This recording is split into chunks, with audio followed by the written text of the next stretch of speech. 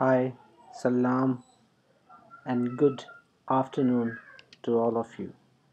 In order to download Office for Mac in 2020, just follow the procedure as I do. So, first, we will start from Chrome. Type here getintopc.com. there's uh, not much a big difference in 2016 and 2019 and 365 office but you just have an option of iCloud sorry cloud storage of Microsoft. So here we type office for Mac go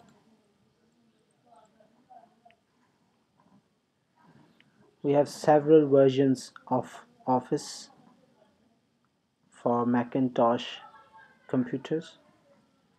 Uh, I recommend the first one 2016 you can also download the rest versions.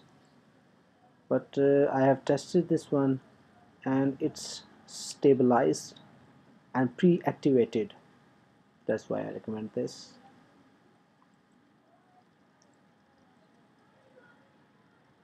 click download button. Now it will go to its server. Downloaded will pop up. The message must be popped up.